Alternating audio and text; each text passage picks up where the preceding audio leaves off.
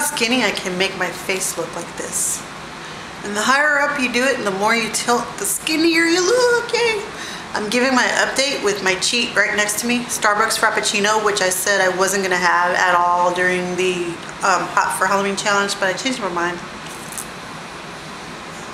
It's just too good. But this is the first one I've had in three weeks, so.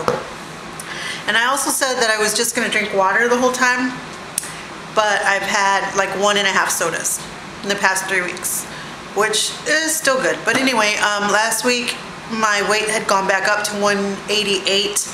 This week I'm back down to 185, thank God. All I did was, um, it's that time of the month for me and that gives me like major cramps and nausea. So I didn't do any cardio this week. Um, so I ate about 1400 calorie average. And um, last week I ate about 16, I don't remember now, 16 to 1800 calories, but I burned it down to like 1300 a day and my body didn't like it and it made me gain three pounds. And this week with no exercise and eating just a little bit more, I lost those three pounds. I don't know. Maybe it's water, it was water weight, which doesn't make sense because last week I wasn't, it wasn't that time of the month. This week it is, so.